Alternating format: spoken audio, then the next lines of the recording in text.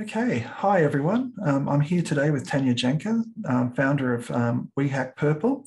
Um, we Hack Purple is actually a member benefit, and you are more than welcome to find out about that when you join as a member. Um, I really do thank Tanya for her contributions because it's tremendous the work that she's been doing for the community. Um, as many of you know, she won two WASPy Awards this year, which is, I think, the first time ever. Um, we might even have to change the rules to prevent that happening again.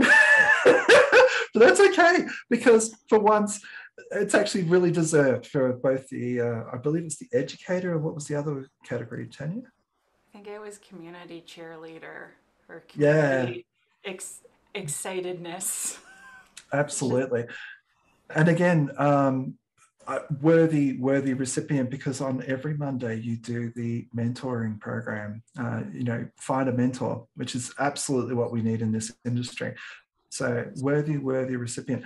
Uh, so tanya um, tell us a bit about yourself and uh, you know what are the problems you see in the industry as you see it today? So uh, i am a giant nerd on the internet it's hard to describe what my job is. So I technically run a training company and then we have this big community and I then I also like go in and train companies, but mostly I am about trying to share knowledge in regard to how we can make software more secure. So I was a dev forever and then I switched into security and got kind of I didn't realize that there was this whole giant community that I could join. And honestly, I joined OWASP immediately and then was just invited into mm. like hmm. a project, into a chapter, to events. Like it just, it, like my whole career really blossomed as a result of becoming part of the OWASP community. And um, what do I see in the industry? Uh, problems or challenges, like things I'd like us to work on. I, I would love for us to work on finding a more standardized way to create secure software. I would love mm-hmm. it if we shared more information. So OWASP is awesome at that. Um, but you know, generally industry like private companies tend to keep that all a secret. And I yep. agree that we can't just give our intellectual property away all the time, but couldn't we give some? Yeah. Right. And and I would also like I hope one day to see that some of the tooling prices go down a bit because security tools versus dev tools, it's just astronomically more money, right? And if you're a dev and your budget is like this, it's unlikely yep. you're going to be able to afford to buy security tools you would like. Mm-hmm. And that means that they're less interested in them. But I wish that developers were like, give me all the security tools. this yeah. Absolutely. And in fact, that's one of the areas that I think OWASP has a uh, role is to provide, you know, world-class tools. But some of it's all tied up in software patents. And that's one of the reasons why the um, source code um, static analysis is in such a parlous state. Um, some of the most fundamental things about compiler theory are patented, even though they are compiler theory from the 1950s there should have been no patents granted for source code static analysis at all. And we might have actually seen some actual competition to get some reasonable pricing. Oh, that I didn't know that. When I was in college, I actually had to build my own compiler. It was hard. Yep. Absolutely. Do you have um, the Bible? Are you going to show me the Bible with the dragon on it? Oh, yeah, yeah, yeah. I, it's I a fantastic book. but everything in here is well known, but if you apply it to static code analysis, you're going to fall afoul of uh, software patents, and that's ridiculous. Yeah, that's totally ridiculous that you. Uh, well, I mean, maybe one day we can fight it, or maybe that patent will expire. Because don't patents expire after a certain period of time? Um, do you know what? It's been a while since I've actually looked at the patents involved in here. They should have expired because uh, they should have only been lasting 17 years. And the ones that sort of helped found the original work uh, were like 2003. So they should be coming up for being expired. But the US system has a lot of submarine patents. You can keep patents alive by mucking around at the edges and still be you may lose the original, but now you've got this other thing that's extremely derivative of the original patent, and the submarine patent then takes over. Um, it wouldn't surprise me. Wow. Uh, but we need to, it's really disappointing because the focus in the past on tools was always for security staff to use it, whereas we need developers start, um, developers to use these tools. And to do that, I don't know about you, but they need to have very few false positives. And I think the current situation with software patents is holding back that market. Yeah. Oh, it certainly sounds like it. That's for sure. And another part of the market that frustrates me is, or I mean, I'm benefiting from it because I run a training company, but the training's so expensive. It's so expensive. Mm. Oh my gosh, Andrew. And mm-hmm. when we go to college or university, like, so I went to college in the 90s. so that was a while ago. But when people go to college and university now, there's still a, a lot of places are teaching waterfall still. And I don't think that we should not teach it at all. I think we should teach it as history. Yeah. What used to happen. but they teach like nothing about security. The only thing they'll teach mm. is maybe identity and access management, which is quite important. And they'll teach the concepts maybe of authentication and authorization. And then they're like, there, you know. I'm like, no, they don't know enough. Yeah. That's so that's why we're actually, we, absolutely, we absolutely do need to also bring the uh, security industry along for the ride as well. Um, a lot of the stuff that we see is Wagile because they still have stage gates and stage gates are nemesis number one to developers. It's like, how can I avoid doing this stage gate? I'm going to avoid it. And I know. I know.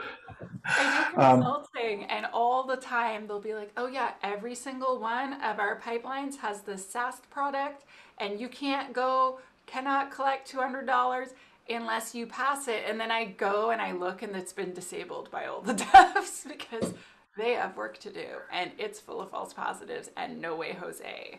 Mm-hmm. Yeah, and that's one of the problems with, as I said before, the static code analysis tools are designed for people who've got skills to be able to say that. So that's not an issue. Look away from there. Um, you know, I once did a static code analysis and it had zero problems. And I just looked at it; it was full of suppression. Like they suppressed every error that was causing them problems. And I just go, this is not really helpful, guys. like 400 suppression rules. You're like, okay, so let's talk. Pretty much. That was fantastic. Okay, so um, looking forward, um, what would you like to see change in our industry? Like, um, obviously, you're pushing for change with We Hack Purple, um, and you've got these courses that are available online. Um, how do you think developers can learn better developer awareness? What would be the single change you would like to see most development teams take on board? Um, hmm, that's really tough. So there's there's sort of two things that I I hope to see. One is that there's a secure system development lifecycle, and by that I mean so whether you're doing DevOps or Agile, whatever you're doing, but there are certain steps that you have to do that are security. And not like a gate, but like you have to do this at some point. So for instance, threat modeling or, you know, every time we check in code, someone more senior does a secure code review on that bit that you checked in. They just check it out, yep. and if there's any obvious things, they stop you, and that's it. And so, if there could just be like a couple things that for sure happen for every app before it goes to prod, that would mm-hmm. make a huge difference. And then the other aspect of that is is just training developers. And I know I run a training company, but you can train them yourself. That's how I started giving training was I was doing AppSec and I needed the devs to stop doing bad things. And I'd never done talks before. And mm-hmm. I, so Andrew, you've seen me speak all over the place, but my first talk, my heart was beating so loud. I was actually quite certain that you could hear it in the whole building. And I was like, I'm gonna die. And they're like, you, it's literally impossible. I'm like, no, I'm an overachiever. I'm gonna die. And they're like, you're gonna be fine. And it was actually my old dev team, and I'd switched to security. So they're literally my friends. They're totally like cheering for me. And they're like, you looked like you were gonna die. I must admit, I was fine and I didn't die. one of the things I really want to do is actually institute a program to help the um, presenters present better. I did an OSCon in 2010. Uh, this is an open source conference. It was fantastic. It's a really good conference if you ever go, um, want to go. Uh, they hold it in Portland, I believe. Um, the they actually help their presenters get over these butterflies and actually how to present well. Um, like like how many slides can you get through in a realistic time frame? Um, and they workshopped their uh, slides and things. I think it's a really good thing to actually bring up um, the skill levels of presenters. But my number one piece of advice for presenters: practice. Practice in front of people. Mm. Like I Oh my gosh, when I first started presenting, Andrew, first of all, I spoke at every single meetup in all of Ottawa, the city I lived mm. in at the time. Like, I was like, hi, JavaScript meetup?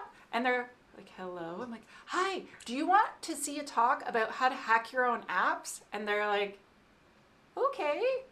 And then I was like, Python meetup, hi.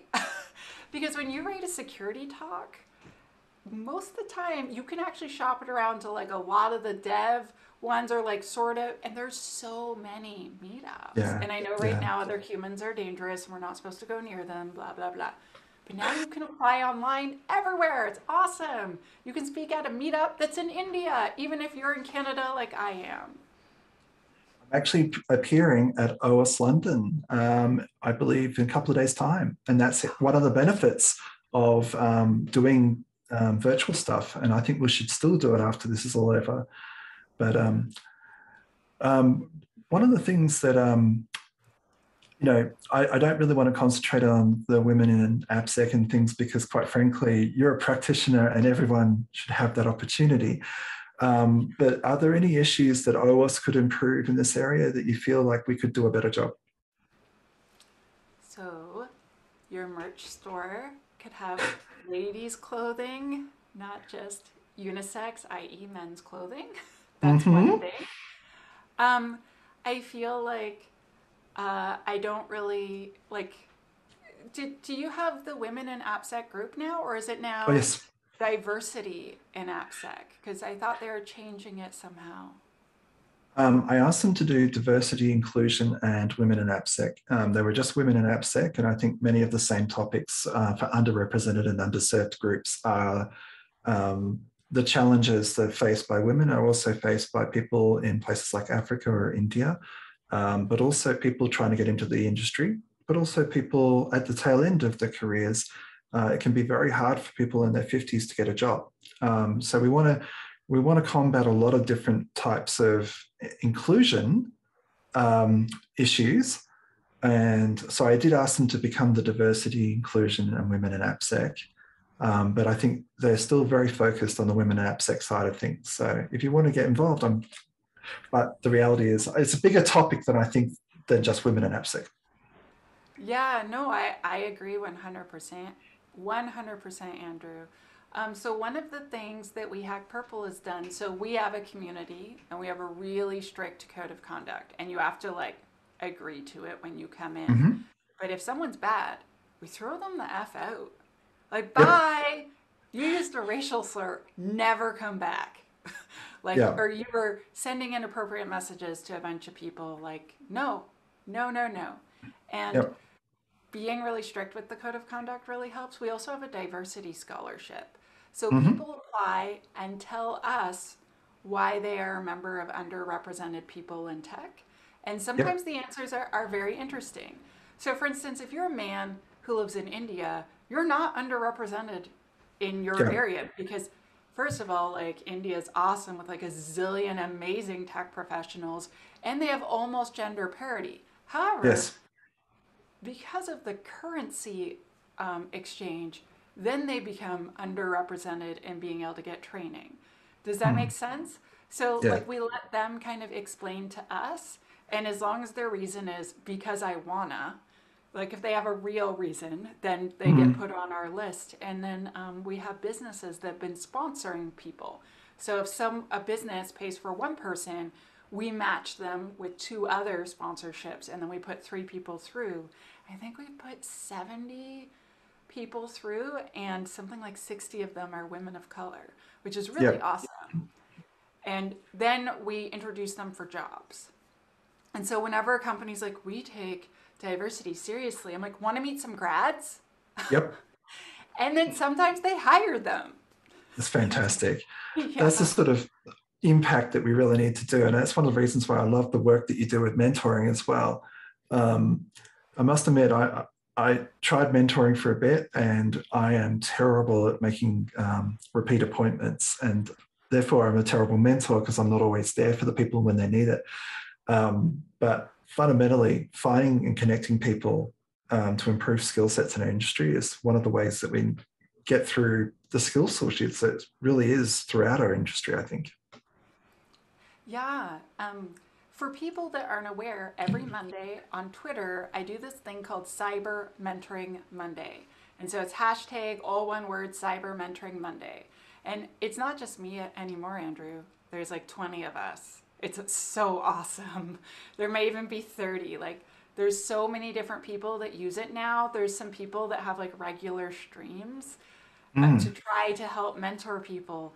And so every week there'll be a new person I've never heard of before that's like, hey, I've got 20 years experience in this. Mm. Who wants to learn about this? And then they have, you know, virtual coffees with people, they talk to people, and then often they end up kind of pairing off. And um, I was at a conference right before the pandemic when all scariness happened. And this man walked up to me and he's like, hey, may I buy you a coffee? I'm like, well, I have a coffee, but do you want to have your own coffee with me while I drink this one? And he's like, yes. And he's like, I need to thank you. And I'm hmm. like, okay, great. And he's like, I did the Cyber Mentoring Monday thing. And I offered to mentor someone. And I met this lady who had like just graduated computer science. And I mentored her for six months. And then my company actually had a position open and I hired her. And now she's worked for me for a year and she's amazing and I would never have found her without this. And he's like, I just want to say thank you. And I was like, oh my gosh, you're welcome. That's amazing. And so people share stories like this with me all the time. And I, oh, yeah, it feels pretty It's good. really good. yeah. Well, that changes lives. And that's the sort of impact that I'm really looking for. Um, a lot of the time, OWASP, we did a lot of conferences and things. We did a lot of meetings, but nothing really changed. And so when I took over the OWASP Top 10, I wanted to make sure that things moved on the OWASP Top 10. Having SQL injection at the top all the time, not great. So I'm glad it's moved. And that's exactly what mentoring can do. It can really move the needle for people. Oh, yeah, for sure. Well, and those connections that you make. So I mm-hmm. have professional mentors that I call when something happens and I ask for advice. And mm-hmm. I might not talk to them for six months or something. And then I'm like, whoa, this thing happened. I need some advice. And yeah. um, having that person you can trust that really has your best interests at heart is a big deal. Yeah. I sort of sometimes steering a nonprofit through the muddy waters. I obviously don't have a business background, but I'm doing the best I can, but I think maybe I needed a, a mentor in that area myself. So you should do Cyber Mentoring Monday. You could find one for real. Okay, I'll, okay, I'll definitely reach out next Monday and I'll find out what's happening. Okay. Um, any last words or uh, shall we? Everyone join OWASP, become a member, make friends, meet people, have fun. Absolutely. Do you know we're about we're about to hit 5,000 members for the first time. Yes.